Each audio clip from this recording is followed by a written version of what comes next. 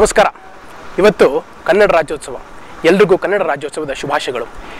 ಇವತ್ತು ನಾವು ಮೈಸೂರು ಪಾಕದಲ್ಲಿ ಕನ್ನಡ ರಾಜ್ಯೋತ್ಸವದ ಒಂದು ವಿಶೇಷವಾದ ಸಂಚಿಕೆ ಮಾಡಬೇಕು ಅಂತ ಸಿದ್ಧತೆ ಮಾಡ್ಕೋಬೇಕಾಯ್ತು. ಆದರೆ ದುರದೃಷ್ಟವಶಾತ್ ನಂಗೆ ಸ್ವಲ್ಪ ಹುಷಾರಿರಲಿಲ್ಲ. ಇಲ್ಲ ಅಂದರೆ ನಾನು ಬೋರ್ಗರಿಯುವ ರಣೋತ್ಸಾಹದಲ್ಲಿ ಕನ್ನಡದ ಬಗ್ಗೆ ಎಲ್ಲ ಮಾತಾಡ್ಬಿಡ್ತಿದ್ದೆ. ಆದರೆ ಅಷ್ಟು ಸಿದ್ಧತೆ ಮಾಡ್ಕೊಳ್ಳದೆ ಇರೋ ಕಾರಣ ಸರಳವಾಗಿ ಆದಷ್ಟು ಕನ್ನಡ ಪದಗಳನ್ನ ಉಪಯೋಗಿಸಿ ಇವತ್ತಿನ ಸಂಚಿಕೆ ಮಾಡ್ಕೊಡ್ತಾ ಇದ್ದೀವಿ ಬನ್ನಿ.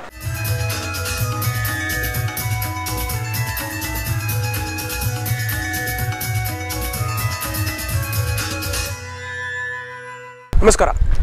ಇಷ್ಟು ದಿನ ನೀವು Mysuru ಪಾಕದಲ್ಲಿ Kolhapuri bhel, just gelato masala cool drinks ಮತ್ತು ಇನ್ನಿತರ ವಿಶೇಷವಾದ ಎಪಿಸೋಡ್ಗಳನ್ನ ನೋಡಿದ್ರಿ.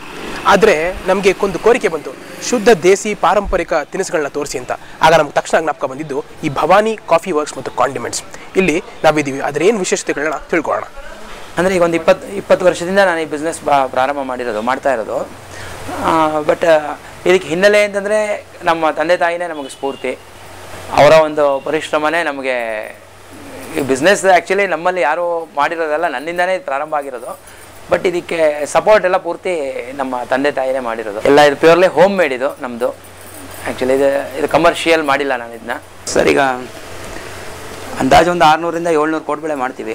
ಕಾ, ಜನ ಯೂಶ್ವಲಿ ಡಿಮ್ಯಾಂಡ್ ಜಾಸ್ತಿ ಆರ್ಡರ್ಸ್ ಇದ್ದಾಗ ಮಾಡಿದಾಗ ಎಕ್ಸ್ಟ್ರಾನು ಮಾಡ್ತೀವಿ. ಜೊತೆಗೆ ಚಕ್ಲಿ, ತೆಂಗುಳು ಇವುಗಳು ಎಲ್ಲ ಮಾಡ್ತಾ ಇರ್ತೀವಿ. ಬಟ್ ಕೋಡ್ಬಳೆ ಮಾತ್ರ ಪ್ರತಿ ದಿವಸ ಡಿಮ್ಯಾಂಡ್ ಅದು ಕೋಡ್ಬಳೆ ಮಾಡಲೇಬೇಕು. ಆ ಪರಿಸ್ಥಿತಿ ಆಗಿದೆ ಈಗ.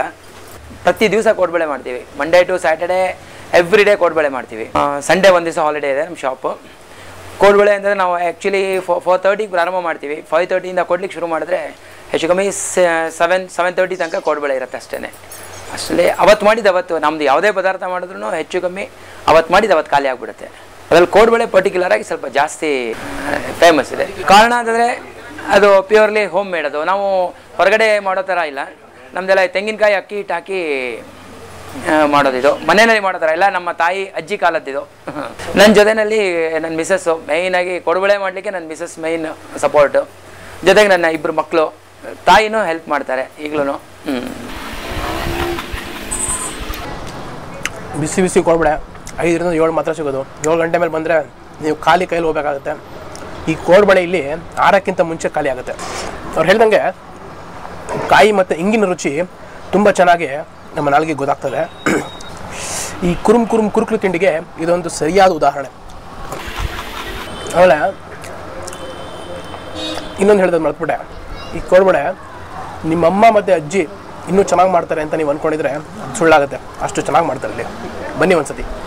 ಸರ್, ಈಗ ನಮ್ಮಲ್ಲಿ ಐಟಮ್ಸ್ ಮಾಡೋದು ಅಂತಂದರೆ ಕೋಡ್ಬಳೆ ಚಕ್ಲಿ ತೇಂಗುಳು, ಮುಚ್ಚೋರೆ, ನಿಪ್ಪಟ್ಟು, ಹುರುಗಾಳು, ಹುರುಕ್ಲು ಖಾರ ಶೇವ್ ಅವಲಕ್ಕಿ ಪುರಿ ಜೊತೆಗೆ ಸ್ವೀಟ್ ಐಟಮ್ಸ್ನಲ್ಲಿ ಸಜ್ಜಪ್ಪ ಮಾಡ್ತೀವಿ, ರವಾ ಲಾಡು ಮಾಡ್ತೀವಿ, ಗುಳ್ಪಾವಟೆ ಅಂತ ಒಂದು ಐಟಮ್ ಮಾಡ್ತೀವಿ. ಅದು ಗೋಧಿ ಹಿಟ್ಟಲ್ಲಿ, ಗೋಧಿ ಹಿಟ್ಟು ಬೆಲ್ಲ ಹಾಕಿ ಮಾಡೋದದು ಈ ಐಟಮ್ಸ್ಗಳು ಮಾಡ್ತೀವಿ. ಮತ್ತು ಜೊತೆಗೆ ನಾವು ಈ ಮದುವೆ ಐಟಮ್ಸ್ಗಳೆಲ್ಲ ಮಾಡ್ತೀವಿ. ಮದುವೆ ಐಟಮ್ಸ್ ಅಂದರೆ ಈ ಪುರಿ, ಉಂಡೆ, ಚಕ್ಲಿ, ಬಾಗ್ನ ಇದೆಲ್ಲ ಮಾಡ್ತೀವಿ ನಾವು.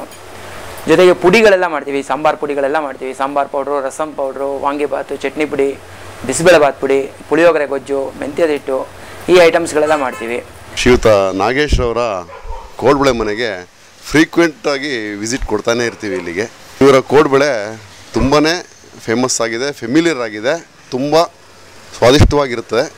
ಇದು ನಮ್ಮ ಮೈಸೂರಲ್ಲಿ ಮಾತ್ರ ಅಲ್ಲದೆ ಬೆಂಗಳೂರು, ನಮ್ಮ ರಾಜ್ಯದಲ್ಲಿ, ಹೊರ ರಾಜ್ಯಗಳಲ್ಲಿ ಹಾಗೂ ದೇಶ ವಿದೇಶಗಳಲ್ಲಿ especially America, Britain Saudi Arabia, ಈತ ಕಡೆ ಎಲ್ಲ ಕಡೆ ಅಲ್ಲಿನ, ಇಲ್ಲಿಂದ ಹೋಗಿರೋರು ಬಂದು ಇಲ್ಲಿಂದ ನಾಗೇಶ್ ಅವರ ಕೋಡ್ಬಳೆ ಮನೆಯಿಂದನೇ ಇಲ್ಲಿಂದ ಕಟ್ಸ್ಕೊಂಡು ಹೋಗ್ತಾರೆ. ಪ್ಯೂರಾಗಿ ನಾವು ಮನೆಯಲ್ಲಿ ಹೇಗೆ ಮಾಡ್ತೀವಿ, ಅದೇ ರೀತಿ ಇವರು ಮಾಡಿಕೊಡ್ತಾರೆ. ಹಾಗಾಗಿ ನಮಗೆ ತುಂಬ ಇಷ್ಟ. ನಾಗೇಶ್ ಅವ್ರು ನನಗೆ ಸುಮಾರು ಒಂದು ಮೂರು ವರ್ಷದಿಂದ ಪರಿಚಯ. ಸೊ ಅವ್ರ kodubale is famous rate is also good no doubt about it ರುಚಿ ಚೆನ್ನಾಗಿರುತ್ತೆ. ಸೊ ಈ ಥರ ಮೈಸೂರಲ್ಲಿ ಇನ್ಯಾರು ಮಾಡ್ತಾ ಇಲ್ಲ ಏನೇ ತೊಗೊಂಡ್ರು ನಿಮಗೆ ರುಚಿಯಾಗಿರುತ್ತೆ ಚೆನ್ನಾಗಿರುತ್ತೆ. ಕ್ವಾಲಿಟಿನೂ ಇದೆ ಕ್ವಾಂಟಿಟಿನೂ ಇದೆ. ನೀವು ಒಂದ್ಸಲ ಬಂದು ತಿಂದ್ರೆ ಸಾಕು ಇನ್ನೂ ಜಾಸ್ತಿ ತಿನ್ನಬೇಕು ಅನ್ಸುತ್ತೆ. ಕೋಡ್ಬಳೆಯಿಂದ ಹಿಡಿದು ಇವ್ರು ಕೋಡ್ಬಳೆಗೆ ಫೇಮಸ್ಸು ಬಟ್ ಏನೇ ತೊಗೊಂಡ್ರು ತುಂಬ ಚೆನ್ನಾಗಿರುತ್ತೆ. ಚಿಕ್ಕ ವಯಸ್ಸಿಂದ ನಮ್ಮ ಅಪ್ಪನ ಜೊತೆ ಈ ಅಂಗಡಿಗೆ ನಾನು ಬರ್ತಾ ಇದ್ದೀನಿ. ವಿಶೇಷವಾಗಿ ಏನಂದರೆ ನನಗೆ ಕೋಡ್ಬಳೆ ಸೈಜ್ ನೋಡಿದ್ರೇ ತುಂಬ ಖುಷಿ ಆಗುತ್ತೆ. ಇನ್ನು ತಿಂದ್ರಂತೂ ಇನ್ನೂ ತುಂಬ ಖುಷಿ ಆಗುತ್ತೆ.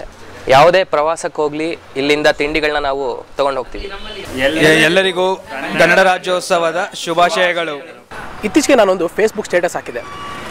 ಬರುವ ಕನ್ನಡವನ್ನು ಮಾತನಾಡದೆ ನಾವು ಕನ್ನಡವನ್ನು ಕೊಲ್ತಾ ಇದ್ದೀವಿ ಯಾವುದೋ ಬರ್ದೇ ಇರೋ ಇಂಗ್ಲೀಷ್ನ ಮಾತಾಡಿ ಮಾತಾಡಿ ಇಂಗ್ಲೀಷನ್ನು ಕೊಲ್ತಾ ಇದ್ದೀವಿ ಒಟ್ಟಿನಲ್ಲಿ ನಾವೆಲ್ಲ ಒಂಥರ ಸೀರಿಯಲ್ ಕಿಲ್ಲರ್ಸ್ಗಳೇ ಅಂತ ಒಂದು ಫೇಸ್ಬುಕ್ ಸ್ಟೇಟಸ್ ಹಾಕಿದ್ದೆ. ಹಾಂ, ಇನ್ಮೇಲಾದರೂ ಸೀರಿಯಲ್ ಕಿಲ್ಲರ್ಸ್ ಆಗೋದನ್ನು ತಪ್ಪಿಸ್ಕೊಂಡು ಕನ್ನಡ ಮಾತಾಡೋಣ. ಕನ್ನಡ ಉಳಿಸಿ, ಕನ್ನಡ ಬಳಸಿ, ಕನ್ನಡವನ್ನೇ ಬೆಳೆಸಿ.